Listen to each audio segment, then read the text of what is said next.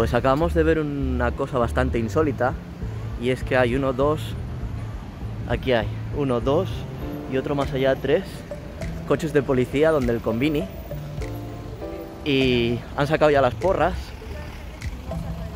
y aquí ya hay gente pasando para ver, a ver si puedo hacer un zoom y podéis ver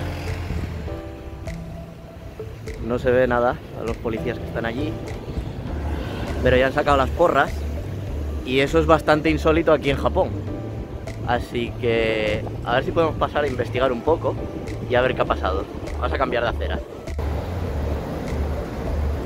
Y mientras esperamos pues pasa el tren.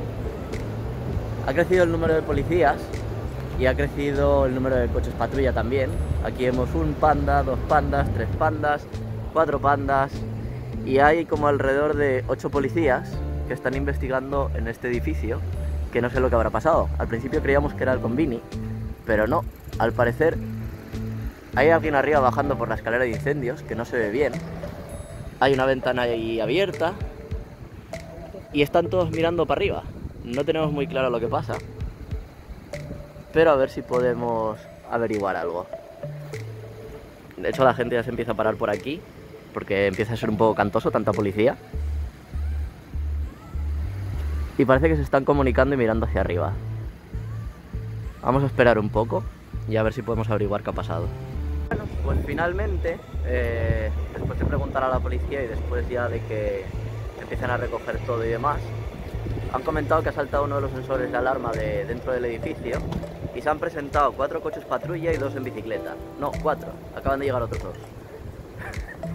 O sea, cuatro coches patrulla en el cual vienen dos policías en cada coche, más dos tíos en bicicleta y dos que acaban de llegar ahora.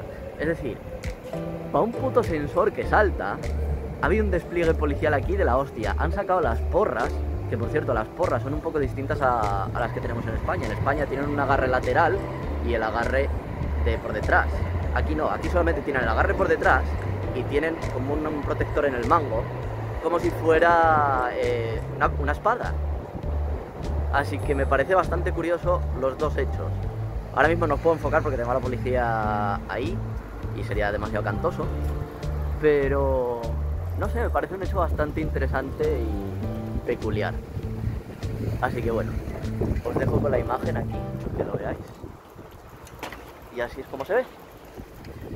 Y este es el vídeo de hoy, un reportaje que acaba de surgir aquí por la cara y espero que resulte bastante interesante. Luego a ver si, si sale algo en las noticias. Probablemente no, pero bueno, por si acaso. Así que ala, sin más, nos vemos. Bye.